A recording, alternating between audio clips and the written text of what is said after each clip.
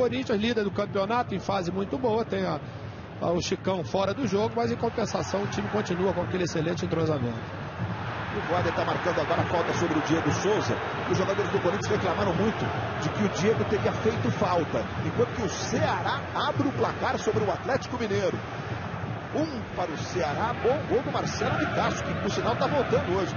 Centroavante Marcelo de Castro a ser titular do time do Ceará. E o Galo em crise depois da goleada sofrida por Internacional por 4 a 0. Primeira falta, primeira possibilidade para Juninho Pernambucano. Dos grandes chutadores dos últimos 10, 15 anos do futebol brasileiro. 34 metros e 70 a distância da bola para a linha de gol. O Juninho está autorizado, partiu o Juninho, já bateu no canto. Gol!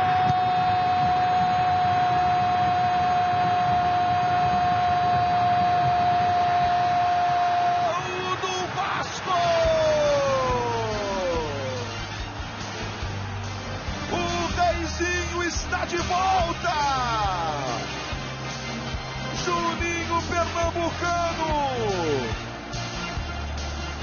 Um exílio chutador dos mais completos dos últimos tempos do futebol brasileiro. O kick da bola na linha da área. Observe lá. E a linha acabou fazendo com que a trajetória mudasse. O Júlio César caiu atrasado. E o Juninho foi para a torcida. Foi para o abraço na segunda vez que ele botou o pé na bola. É uma das grandes armas do Juninho, né? Não só na, na cobrança direta, mas nos passes, nas bolas paradas. Dá de volta o Juninho. 56 gols com a camisa do Vasco.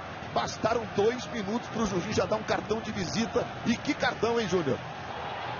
Realmente, Luiz, é, eu acho que essa expectativa que existia, primeiro que a gente está tá falando de um profissional na verdadeira acepção da palavra. Inclusive o Juninho ficou nesse período agora, antes de vir para o Vasco, treinando com o Vitorino lá no Catar para chegar aqui em ótimas condições. Segundo, ele passou todo esse período agora, quando chegou, treinando falta. Pra, para o quê?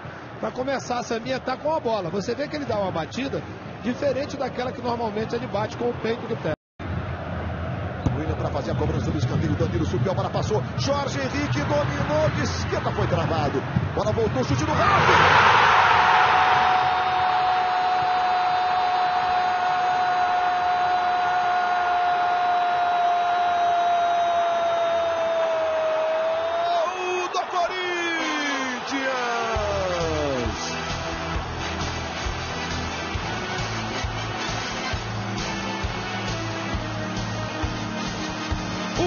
Pegou de primeira.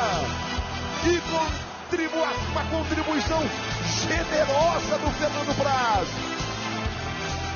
O chute do Ralf. Agora passa sobre o corpo do Braz. A visão está encoberta, tudo bem. Mas o chute vem na direção dele. E o Ralf abre o sorriso. E vai comemorar com a fiel torcida. Primeiro gol dele no Campeonato Brasileiro.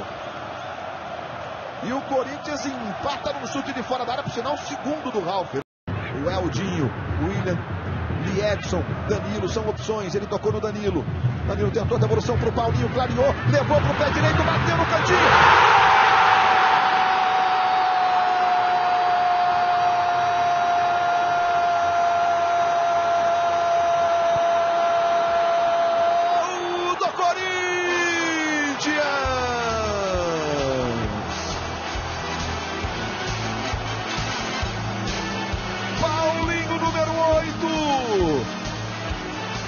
De bico no cantinho baixo direito do Fernando Braz. Para lembrar o Ronaldo Fenômeno. Pro Tite sair na comemoração. E pro Corinthians virar o jogo no Pacaembu. Paulinho, segundo dele no Brasileirão. Com seus dois volantes, que é o esteio Exatamente, do time. Exatamente, Luiz. São os dois homens que vêm de trás, que não tem marcação que chegam como elemento surpresa. Da mesma forma como foi o Ralf no rebote na defesa, agora o Paulinho fez uma jogada técnica e, e teve a ideia de bater da forma como ela se apresentou. Foi de bico mesmo, Exato, foi de bico, foi de bico.